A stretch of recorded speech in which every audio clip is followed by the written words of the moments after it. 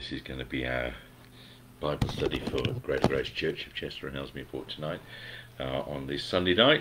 Uh, welcome in the name of the Lord Jesus Christ. If this is the first time you found us, you can also find us at ggechurch.co.uk and you can come and visit us in Backford, Chester. Uh, find us in the former school building and uh, come and uh, look through the window like somebody did today apparently uh, and see what goes on there or come inside and join with us. Uh, we uh, just want to open God's Word and uh, hear something from Him. We pray for uh, God's Spirit to fill and guide in all of these things. So tonight we go off with a few announcements for the week ahead. Slightly different this week. bear with us on that. Uh, we have, for example, um, Tuesday night, we're going to join with uh, the Christian Institute that are doing a meeting in um, New Ferry. I think it's St Mark's Church. You need directions for that. That's 7.45 on Tuesday night. A little bit later than we normally do our services these days, but uh, join with us for that if you can. Um, and then on Wednesday there will be a ladies' Bible study at 10:30 in the morning. So uh, plenty going on this week, and then Saturday night at Andrew and Diane's house. If you need directions, ask me for that. Um, we're going to have a wrap. Uh, Pastor Morley will be visiting, uh, and then on the Sunday we're going to be celebrating Ruby's birthday. Uh, she's going to be 99. We're going to go out for a meal after service at 11 o'clock in the morning. Well, that's what we're announcing for the weekend ahead. So there's plenty of things going on this week. Uh, join with us for whatever you are able to. Uh, so that's uh, what's going on in Greater Grace Church of Chester and Port. Let's do something tonight as well, so that we actually have a, a, service or a Bible study this evening for ourselves. Let's uh, let's pray we'll give the time to the Lord and we'll just see what He does because uh, it's not really up to us anyway. Heavenly Father, thank you, Lord, for this time uh, together. Thank you, Lord, for those that are able to see and watch. Thank you for uh, every blessing that you've given us. Thank you for your constant faithfulness towards us. Thank you, Lord, for what you've done for us. Thank you, Lord, that we're saved by your power, by your action by the finished work of Jesus Christ. Nothing of ourselves, nothing of man, no human effort involved. Thank you, Lord, that it is you who does a work in our lives, Lord. Fill us with your spirit, fill us with your life, uh, and guide us tonight, Lord. Anoint these words and these thoughts in the name of our Lord Jesus Christ. If you are able to hear us and see us, please leave us a like, a comment, a reaction, an emoji, a GIF, a wave, or whatever else you decide. Uh, let's read tonight. We're going to read from um, from um, Ezekiel chapter 37. That's what we read this morning. Uh, it's a well-known chapter, unusual chapter. And it says, The hand of the Lord was upon me and carried me out in the spirit of the Lord and set me down in the midst of the valley which was full of bones and caused me to pass by them round about and behold there were very many in the open valley and lo they were very dry and he said unto me, Son of man, can these bones live? I answered, O Lord God, thou knowest. Again he said unto me, Prophesy unto these bones, and say unto them, O ye dry bones, hear the word of the Lord. Thus saith the Lord God unto these bones, Behold, I will cause my breath to enter unto you, and ye shall live. And I will lay sinews upon you, and I will bring up flesh upon you, and cover you with, with skin and put breath in you, and you shall live, and you shall know that I am the Lord. So I prophesied as I was commanded. And as I prophesied, there was a noise, and behold, a shaking, and bones came together, bone to his bone. And when I beheld, lo, the sinews and the flesh came upon them, and the skin covered them above, but there was no breath in them. Then said he unto me, Prophesy unto the wind, prophesy, Son of Man, and say to the wind, Thus saith the Lord God, Come from the four winds, O breath, and breathe upon these slain, that they may live. So I prophesied, as he commanded me, and the breath came into them, and they lived and stood upon their feet, an exceeding great army.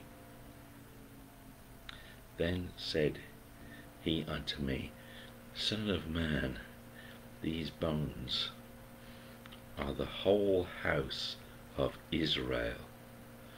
Behold, they say, our bones are dried, and our hope is lost.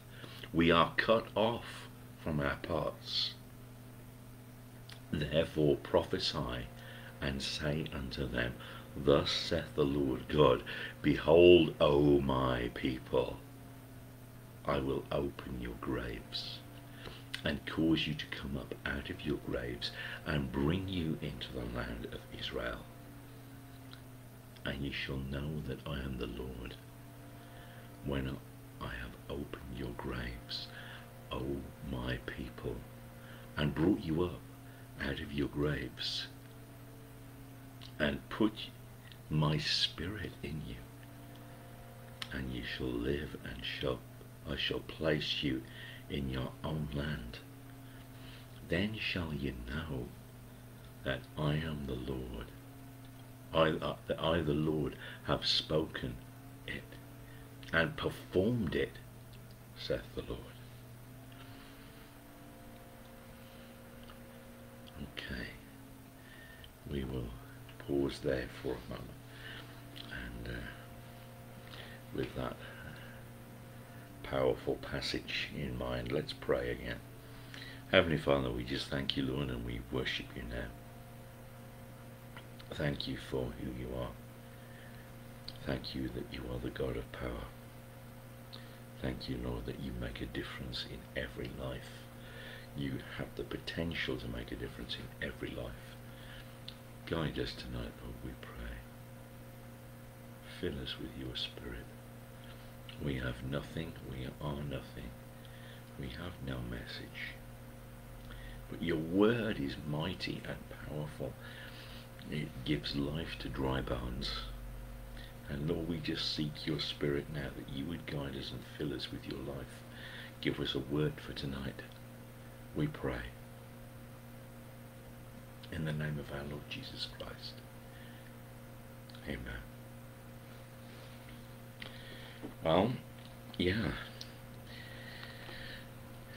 This passage we were saying this morning, is it an actual event? Did it happen? Or was it just a vision? Was it just like a, a, a parable?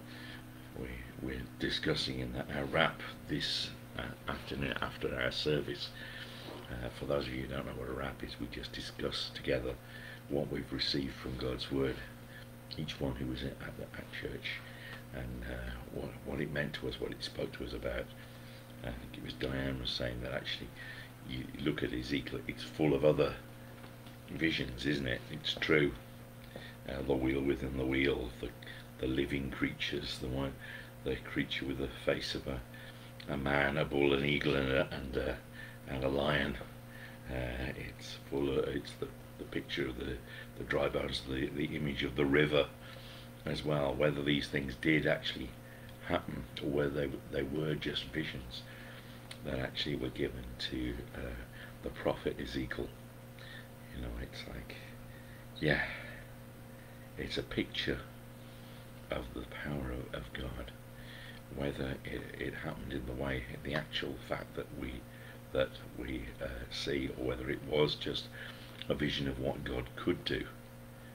Uh, either way, we see the power of God's word. And uh, looking at this, I was thinking about that this morning. We touched on it uh, today that actually the bones were very dry. There's no life in them at all, nothing of themselves. Uh, they can't produce the life themselves. They can't uh, reform. You know, they are as dead as they can be. Uh, the the moisture in the bone is in the marrow, isn't it? Uh, and uh, that's uh, the, the bone marrow actually is, is is mentioned quite a few times in God's word. You know, uh, the joints from the, the the word of God is said to be sharp and, and uh, two-edged sword that is able to divide even the, the, the, the joints from the marrow. In other words, split open bone. And uh, but the marrow is the life-giving part, isn't it? But the marrow often is is, um, is is spoken of as the as the moisture. In fact, I think even isn't it? It's Samson when he breaks open the jawbone of the ass the moisture that is in there that he drinks uh, after he's killed the Philistines with the jawbone of the ass is the marrow from the centre of the bone. You think, wow, it's not particularly something that I would desire to drink myself. But it, you know that is the thing that actually uh, there's always this contrast now. Here the bones are are very dry. In other words, there's no marrow left in them. the, the marrow is what produces the red blood cells or white blood cells and uh, and regenerates our blood. So it's quite quite important for us in our in our physical health. So in, a funny sort of way, we're we're talking about here um, that um, there is no blood. There is, this is a this is a bone without blood it's uh, uh, the life is in the blood, isn't it? That's what the Word of God tells us as well. That's in Leviticus. But yeah, the life is in the blood. The bones are very dry. There is no bone marrow and there's no potential for there to be blood. There is no potential for there to be any marrow. It's completely dry, completely lifeless. But the power of God's word spoken into the situation and the life of God's spirit coming into the situation is able to make a difference and is able to cause these dry bones to live at God's command. Not anything that Ezekiel could do. He doesn't even know whether it's possible. But he says, you know, I'm going to defer to God. You know, Lord, you know, Lord, whether this is possible or not. I'm not even going to presume to give an answer either way, but I'm going to trust you and your judgment in it. And we were saying this morning that it says there that actually what happened was that the sinews came upon. The sinew, like we said this morning, is the connective tissue isn't it? It's like uh, there was a there was a, a connection there. The sinew as well uh, is what links one bone to another. But um, you know we are God's people, and we are the body of Christ, and there is a, a link together for God's people we are all parts of the body of Christ. The, the body of Christ is is is needed within, you know, people often think of the body of Christ as being like all all of the different churches together, every different denomination. Yeah, that's true, but also within a church there is the body of Christ. There are people who have different spiritual gifts, different callings, and uh, different skill sets uh, who need uh, to be in the body of Christ, and we all need each other.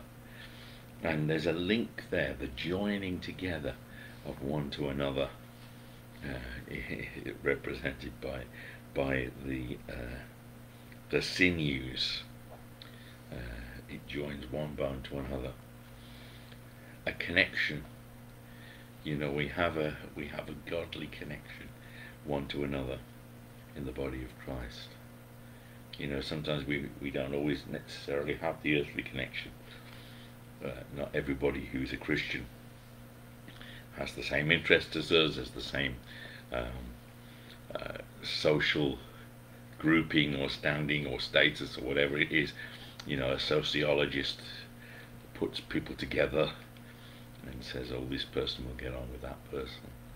But, uh, you know, often within the body of Christ, it goes beyond that. Uh, the sinew connects one to another. And the Lord Jesus Christ uh, is that connection. Our, our salvation is the connection. The fact that we are all together in God's kingdom is what connects us, is what bonds us together. The life of Christ, the, the, the shared experience of salvation, and the shared experience of sanctification. That actually God is working that into our lives, and as we grow with with Him, um, we, we take steps of faith with Him. That is important for us. Sometimes we are we emphasize salvation a lot. Oh, it's about getting people saved, and yes, that's true. He who calls on the name of the Lord shall be saved. And we we've in evangelical churches over the years we've often uh, made that our focus. Evangelism, it's about getting people saved which is great, which is necessary because people will avoid hell. But there's also the sanctification. In other words, our walk with the Lord, our Christian experience, and our growth with Him. And that's also one of the things that binds us together. Is uh, is that uh, connection? That yes, I want to go forward with God, and I realise that God is doing something in my life, and I come and I share that with, the, with other people who've had the same experience, that they're growing in Christ. It's a necessary thing. We need connection, we need fellowship, we need life. And uh, the sinew joining them together. Then the flesh, now think about it, it's also Ezekiel who says, you know, I will take away the, the, the heart of stone. And this is again the Spirit of God speaking through him I will take away the heart of stone, and I will give you a heart of flesh. Great words. Uh, God having loved us with an with an everlasting love. You know this uh, book of Ezekiel very misunderstood at times, but actually there's a lot of powerful things in there. And yeah, God will take away the, the heart of stone the cold, dry heart. Uh, in fact, we don't read that these these people are given a heart, but they are given flesh. And we assume that actually if they're given flesh, they're given the organs that are necessary. It doesn't say that they were given a face. That's not the important thing when it comes to to God. It actually he just says, you know, they're given sinews, they're given the flesh, and then they're given skin. Now, skin is a covering. Think about that. Way back in the Garden of Eden. Um, okay. Adam was created with skin. Great. Okay. Yes, that's obvious. And so was Eve. But then when mankind fell, what did God do? they were they were found to be naked. They decided that them, themselves, or they realized that themselves. It wasn't God that said it. God wasn't accusing them. It was man's own conscience that felt inadequate, that felt embarrassed, that felt guilty for being naked, that felt ashamed. All of these things came in as a result of the fall of man. But what was God's answer? Was to take a sacrifice. The first animal, the first God had created the animals, the first animal was killed. Blood sacrifice for sin is the very early on. We tend to forget that part. Yeah, but blood sacrifice is right in the book of Genesis. Genesis chapter 3. Immediately, an animal is, is, is killed and a, and a coat of skin is made.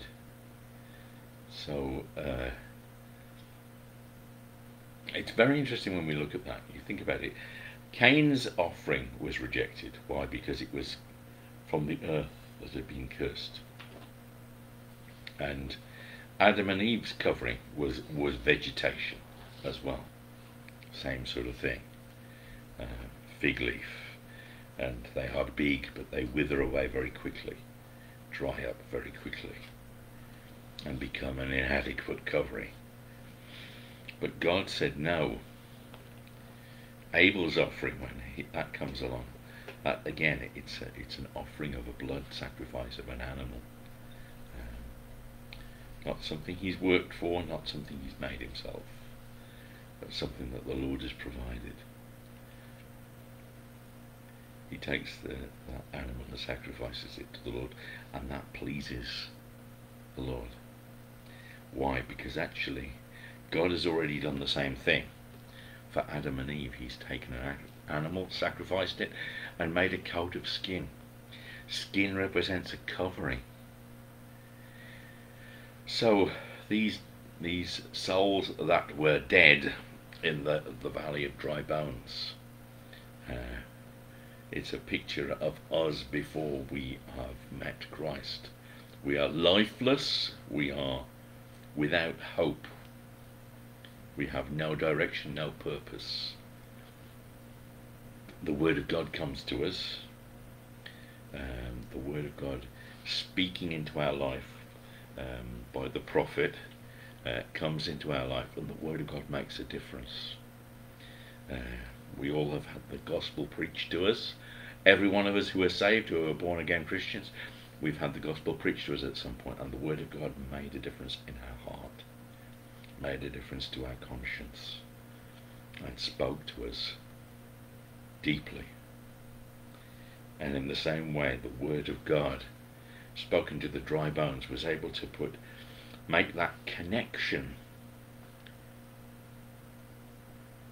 to other believers. It was also give them a flesh, give them a feeling, give them emotion, give them give them a love there, the heart of flesh, but also uh, give them a covering, so that they were covered with skin, and and God for us, we are given the covering.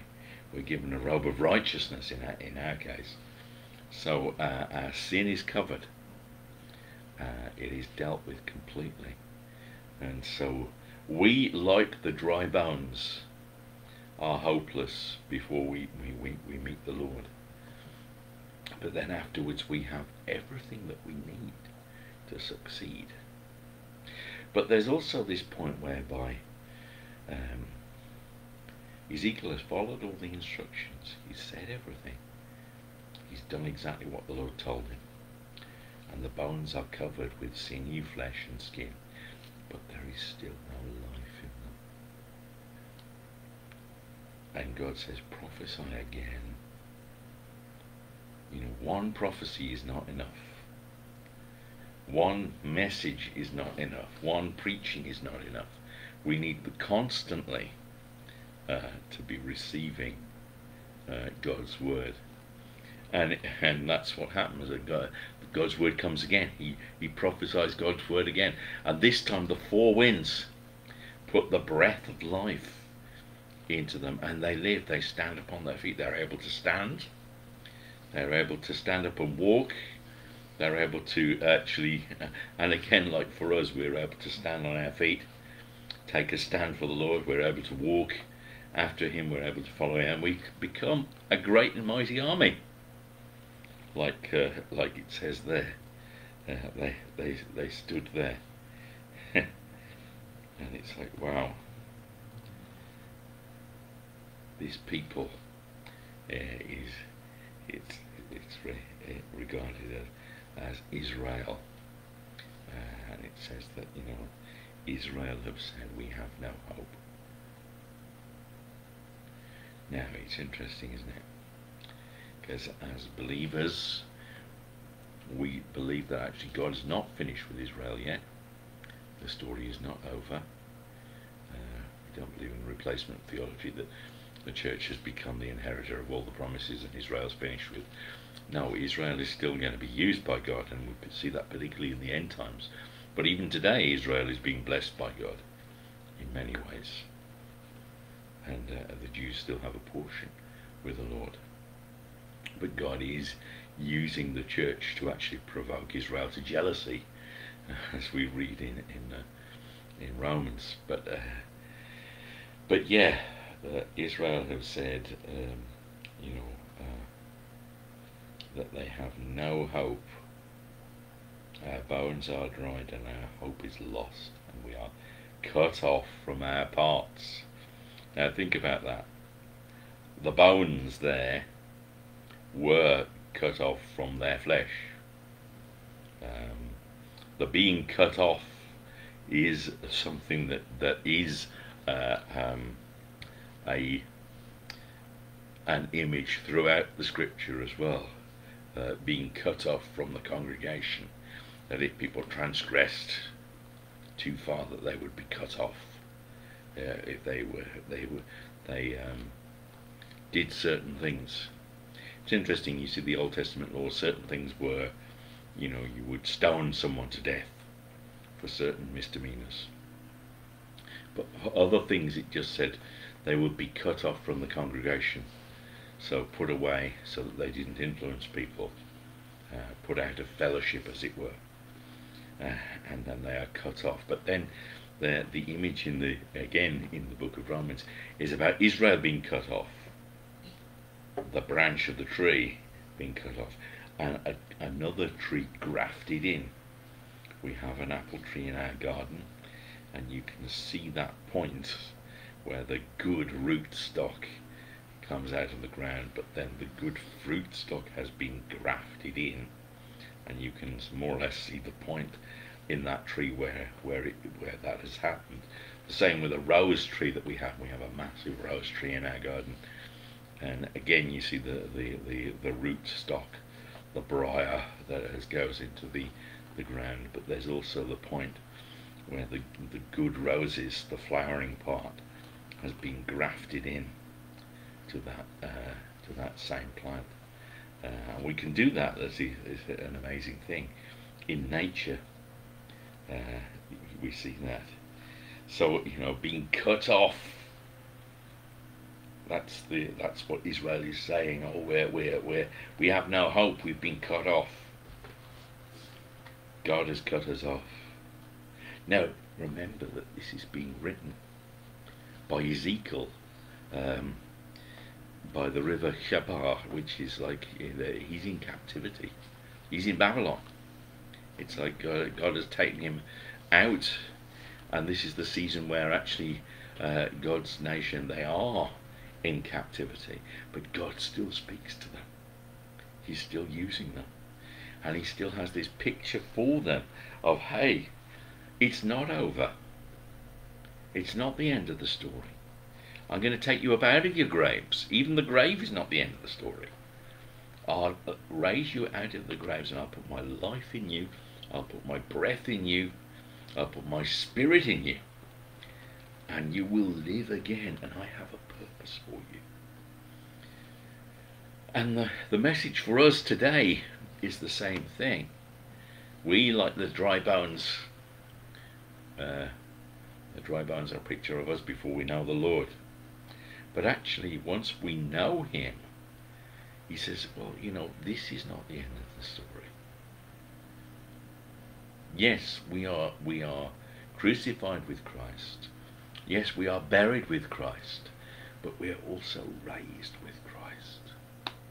So our graves are open, just like these graves of these people were as well, just like it says in, in the passage that we read. Our graves are open. We are raised with Christ. So we have the life of Christ in us. And we have a purpose in the same way that uh, God has not finished with these dry bones. God has not finished with us either. Whatever happens in this life, however hard it gets, however difficult, whatever we face, whatever our past has been, whatever we fear our future may be, none of that matters. What matters is the fact that actually God is able to prophesy into our life God is able to put His Spirit in us, His life in us, His breath in us, and give us a purpose. Ezekiel was given that purpose to prophesy, and he actually did exactly what he was told to. He obeyed God, and the Word of God came out. And uh, you know what? We are given a calling. We're given a calling to share our faith to be a light in the darkness. We're given a calling to be God's presence on the earth, his hands and his feet when he can't be here physically himself. But he puts his life in us, his spirit in us, he guides us, he uses us for his purpose. God's people on the earth are a blessing to the world. The world does not look on Christians as being a blessing. They look on Christians as being a nuisance, a curse, uh, a problem, uh, the difficult ones, the awkward ones. But you know what? We are called to be salt and we are called to be light. And I've said it many times before that salt is an irritant. If you get it in your eye, salt can be also an emetic. If you drink salt water, you can vomit. Uh, salt is also used to preserve things. It's also used to, cl to clean things and um, the point is we're, we, we are here not just to uh, uh, be a little bit of decoration, uh, not just to be interesting, not just to be nice to people. We are here to be a challenge. We are here to stand out. Interesting when we come to the human body again, and I like this fact okay, the dry bones themselves, they couldn't produce life. They couldn't produce marrow. They couldn't produce blood cells. Nothing. It's all just dead. Our human body, we can produce certain sugars. We can produce everything that we need. One thing that is vital to life, well, there are two things that are vital to life that the human body cannot produce itself. We need water, obviously. We need air to breathe, but also we need salt. And the human body cannot produce its own salt. It has to take it in from outside. We've gone off at a slight tangent here, but uh, but the most important thing is this, to remember that actually God has a purpose for us. He puts his life in us. It's not the end of the story. We still have a calling. We still have a purpose while we are on the earth. If you are still alive today, God has a purpose for you. So let's pray and we'll give the rest of our night to the Lord. Heavenly Father, we just thank you, Lord, that you actually have called each one of us to trust you. You've put your life in us. We didn't ask for it, we didn't plan for it, we couldn't produce it ourselves. But thank you, Lord, that you chose by your word, by your spirit, by your power to put your life in us the life of the Lord Jesus Christ. Resurrection life. Thank you, Lord, that you came, you died for us, you were buried for us, but you rose again for us.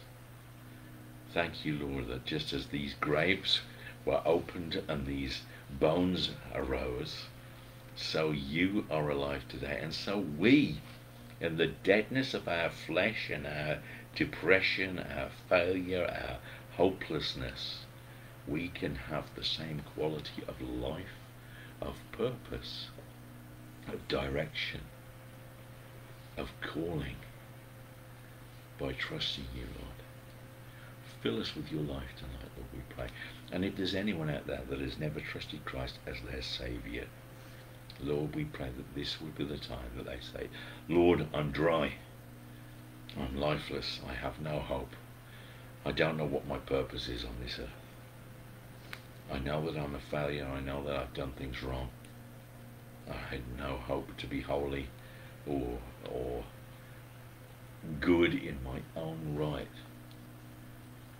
But Lord, I know that you came for my purpose. You came for my life. You love me. And you gave your life for me. And Lord, I just thank you. I pray that you just touch me now, fill me with your spirit, and transform me now. In the name of our Lord Jesus Christ. Amen. And if you prayed that prayer for the first time, please let someone know. We're going to head off now. We're going to uh, leave it for this evening, but uh, God bless you. Uh, take care, and hopefully we will see you again soon. Come and visit us. Come and join with us. Uh, take care for now. Bye bye.